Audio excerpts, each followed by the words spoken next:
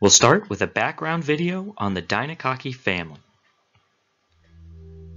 The Deinococci appeared on Earth billions of years ago. This ancestral life form managed to survive the extreme conditions during the initial stages of the planet's formation desiccation, heat, and radiation. Over time, the Deinococcus gradually adapted itself to its environment and developed extraordinary abilities. Exposure to harsh conditions, such as extreme temperatures and gamma rays, damages the DNA of most living organisms, eventually killing their cells. However, when returned to normal conditions, the Deinococcus is able to stick together fragments of its broken DNA, putting them back into the right order. In less than three hours, the harmed bacteria return to life and start multiplying as normal. It's this hardiness found in the Deinococcus which makes it perfectly suited to industrial applications. In nature, bacteria often exchange genetic material. It is the ability of the Deinococcus to repair its own genome and therefore survive, which probably enabled it to evolve into a true genetic mosaic, assimilating DNA from other bacteria and even more complex life forms. Among the many capacities the species acquired, one is of particular interest to us digesting plant biomass. The Deinococci are not only able to digest glucose, but also complex polymers that make up the plant biomass. Here we can see the Deinococci multiplying and digesting birch xylem. On a molecular level, they use a series of enzymes that stick to the bacteria's membrane and cut up the polymers into smaller chains.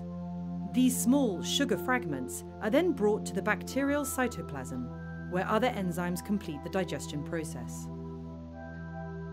The Deinococci can be used as veritable bacterial factories, able to transform vegetable waste into industrial goods.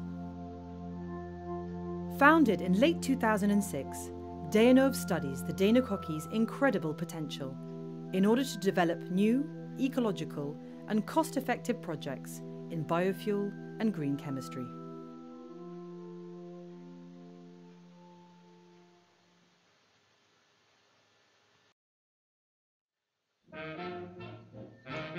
Now we'll move on to a brief history of D. radiodurans.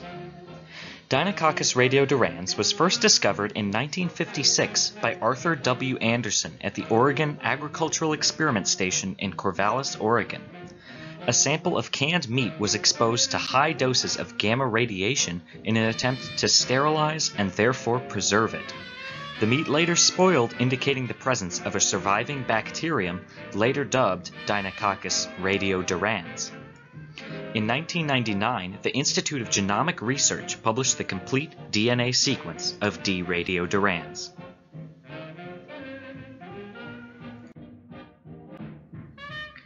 Some characteristics of D. radiodurans include that it is a polyextremophile. This means that it is an organism that can survive in multiple physically or geochemically extreme conditions.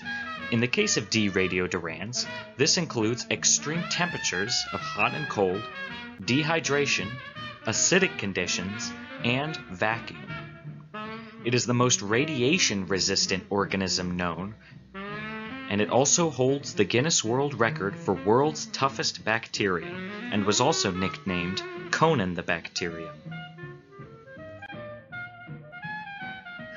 Some other extremophiles in the Deinococci family include D. frigens, which can withstand low temperature, drought, and UV resistance. It was also first discovered in Antarctica D. indicus is another, particularly resistant to arsenic, and D. geothermalis, which optimal growth temperature is between 45 and 50 degrees Celsius, or 122 and 113 degrees Fahrenheit. It is highly resistant to gamma radiation and is currently being tested among other extremophiles on the International Space Station in space and Mars.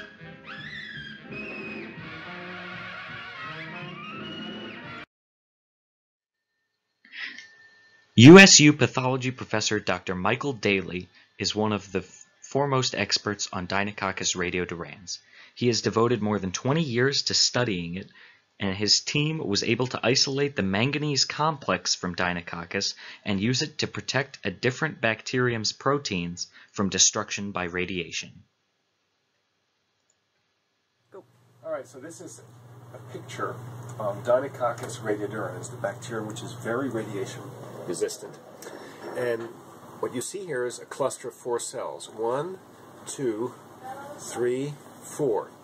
These light staining regions are the genomes, that's where the DNA is, and here the genome is dividing. One is going in here, the other is in here. And surrounding these genomes, something called the cytoplasm, and the cytoplasm is where all the machines of a cell are, all the proteins, all the enzymes. And mixed in with all these proteins in Deinococcus are manganese complexes. Those are free radical eating chemical machines that protect all the proteins. So after radiation, all these proteins in here are still working because of the manganese complex, which means that the cell can repair itself. For most other cell types, including our own cells, there are very few manganese complexes, which means all the proteins and all the enzymes after radiation are destroyed in most cells, which kills the cells ultimately. But in Deinococcus, all the proteins survive, and the genomes can be repaired.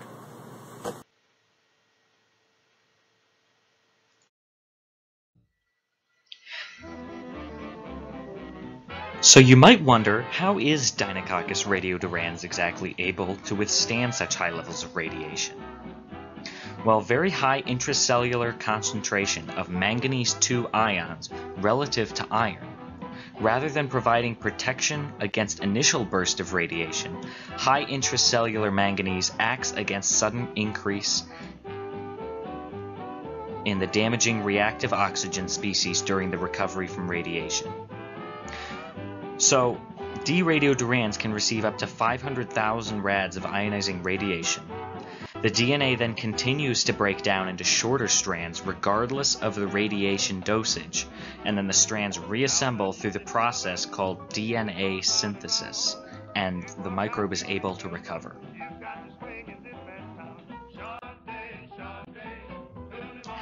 So why would this bacterium develop a radiation resistance far above any naturally, occur uh, naturally occurring radiation levels on Earth? Well, it's suspected that this trait evolved due to its ability to survive lengthy periods of dehydration Dehydration and radiation have very similar effects on cell damage in that they both cause double strand breaks in chromosomal DNA, and D radiodurans evolved to repair 1,000 to 2,000 DNA fragments per cell within 24 hours. This happens successfully due to redundancy in the DNA code. Its genetic code repeats itself so many times that damage in one area can be recognized and quickly repaired using the information from other areas. The images below show on the left the phylogenetic tree of the Deinococcus and Thermus phylum, and the D. radiodurans visual genome on the right.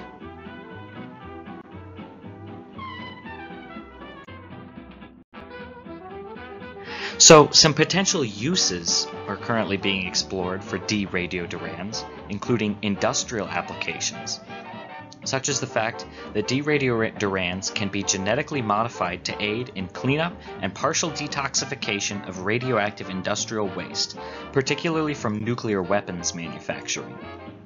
Some biological applications include that derivations of the DNA repair mechanism are being used to produce simple synthetic organisms some informatic applications, in 2003 it was discovered that data can successfully be translated into DNA segments, then inserted into D radiodurans. That species can then be subjected to radiation as normal and retrieved without error 100 generations later. For example, the song It's a Small World was translated into such code and exposed to radiation, and then recovered and played back successfully.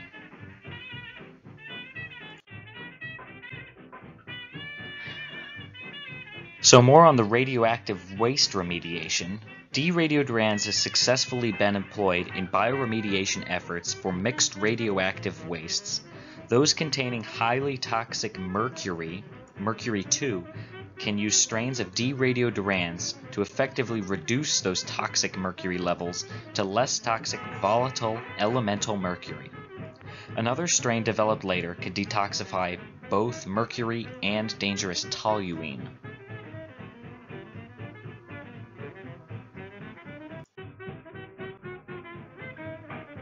So Deinococcus radiodurans is also being studied in space because the bacterium's inherent ability to survive in harsh environments, including vacuum and freezing temperatures, led, the, led to the conclusion that it can survive in space. NASA has taken interest in the potential of increasing astronauts' survival skills. This can include such abilities as producing medicine, clean water, and oxygen.